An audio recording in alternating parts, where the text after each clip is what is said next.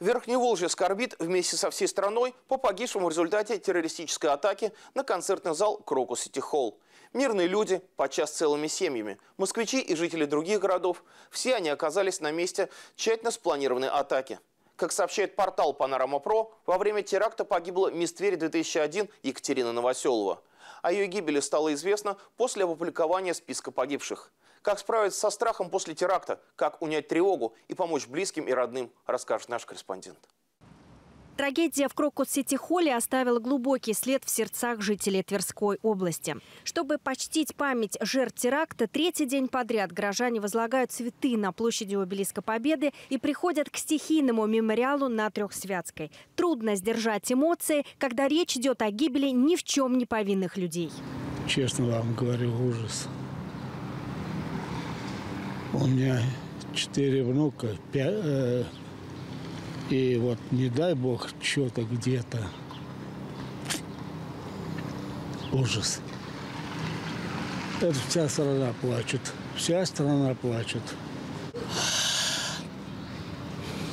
А как можно с этим справиться? Как? Как шаман сказал, в памяти все будет. 22, 03, 24 вернее, не сказала, спел. Горе, большое горе. Что еще можно сказать? Плачу. С ней нельзя справиться. Она на всю жизнь оставшаяся. Это будет очень долго вспоминаться. Это очень-очень-очень страшно. У нас дети в Москве живут. Они могли бы пойти в этот... И часто ходят театралы и на концерты. Я сама в этом кругу Сити Холле была. Много человек погибло, конечно, это уже очень тяжело. Надо жить дальше, как-то пытаться с этим, ну, как не смириться, но все равно принять это все равно очень тяжело, конечно. И понимаешь, что люди, которые потеряли своих близких, там все это да, очень страшно. Последствия чрезвычайных происшествий оказывают влияние не только на тех, кого они коснулись лично. Примеряя ситуацию на себя, многие начинают ощущать тревогу и поддаваться панике. Наиболее впечатлительные боятся оказываться в людных местах. Есть люди, которые очень сильно включены, и у них есть а, сильные вегетативные реакции, эмоциональные реакции, вплоть до а, сильных стрессовых процессов, а, которые переходят до панических атак или панического расстройства уже в дальнейшем.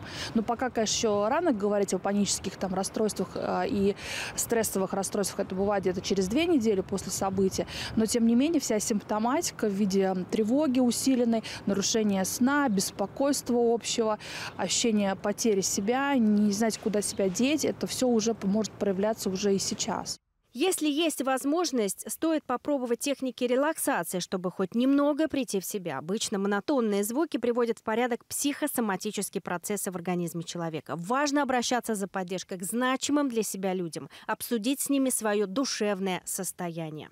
Если это травма наблюдателя, то есть это то, что большинство людей увидели по телевидению, узнали об этом, либо посмотрели в интернете, то такая травма наблюдателя чаще всего э, человеку лучше ну, обсудить один раз, но не более с близкими, не растягивать этот процесс. И когда э, вы поддерживаете кого-то, кто сильно переживает, важно быть эмоционально включенным и сочувствующим. Ну, то есть э, должно быть там покачивание головой, когда человек говорит, говорит, да, да, я знаю, что тебе сейчас сложно, чтобы они как можно больше проговорили. Социальная поддержка является ключевым компонентом восстановления после негативных событий. В Тверской области по поручению губернатора Игоря Урдени открыта горячая линия по номеру 122 для оказания необходимой помощи людям в связи с трагедией в Крокус-Сити-Холле, которая произошла 22 марта.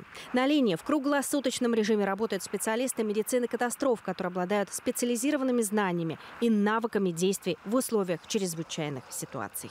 Важно не скроллить ленту, то есть не листать ее бесконечно, не искать в разных местах, не пытаться а, увидеть еще больше видео, а постараться вот доверять одному-двум источникам и, в общем-то, держаться фактов. Наш медиахолдинг присоединяется к словам сочувствия, которые сегодня звучат в адрес семей, потерявших своих близких, и также желаем скорейшего выздоровления всем пострадавшим.